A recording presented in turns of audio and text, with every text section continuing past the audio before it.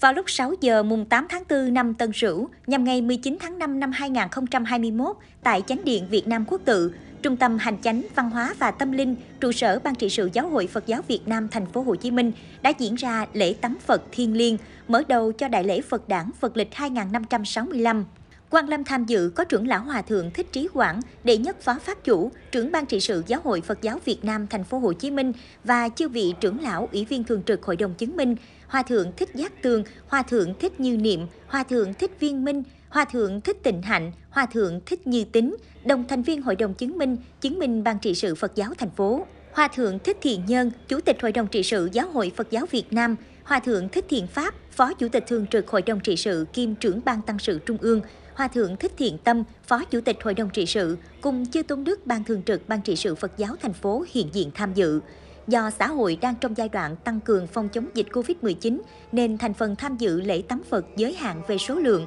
Lễ tắm Phật hay còn gọi mộc dục là một nghi lễ đã trở thành truyền thống trong đại lễ Phật đản thể hiện sự tôn kính của người Phật tử đối với Đức Thế Tôn, đồng thời bày tỏ ước nguyện học theo lối sống mà Đức Phật đã dạy, tịnh hóa suy nghĩ, lời nói và hành động của chính mình, hướng đến hoàn thiện nhân cách trong cuộc đời này. Đây là nghi lễ phổ biến trong hầu hết các truyền thống Phật giáo. Mỗi năm vào dịp đại lễ Phật đản trong truyền thống Bắc Tông hay ngày Vesak theo Nam truyền thì nghi lễ tắm Phật đều được diễn ra rất trang nghiêm trọng thể.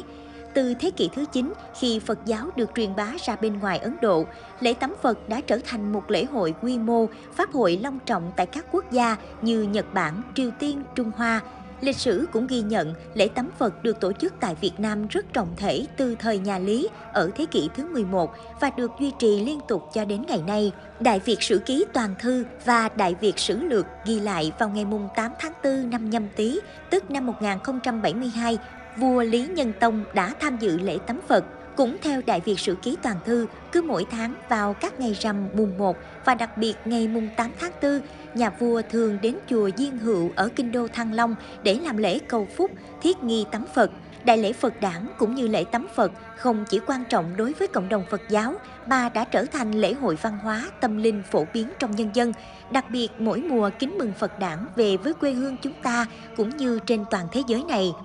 Kinh Vị Tăng Hữu đề cập về những sự kiện quan trọng trong cuộc đời của Đức Phật, có đoạn mô tả khi Đức Thế Tôn vừa mới sinh ra, từ trên hư không, nước mưa rưới xuống, một ấm một lạnh để tắm thân thể của Ngài. Từ xa xưa, người có tín ngưỡng Phật giáo thường thiết trí tôn tượng đản sinh trong bồn hay thau sạch, quý, đặt trong điện thờ Phật hay nơi trang nghiêm, dùng nước sạch có ướp các loài hoa thơm để làm lễ kim tướng sơ sinh với lòng tôn kính bậc thầy của trời người. Đại lễ Phật đản Phật lịch 2565 tại thành phố Hồ Chí Minh do tình hình dịch Covid-19 đang diễn biến phức tạp, chuỗi sự kiện văn hóa cộng đồng tập trung đông người tạm dừng, các buổi lễ sẽ giới hạn số lượng tham dự. Bên cạnh đó, các buổi thuyết giảng và một số sự kiện quan trọng sẽ được truyền hình trực tuyến trên Giác Ngộ Online, YouTube Giác Ngộ TV,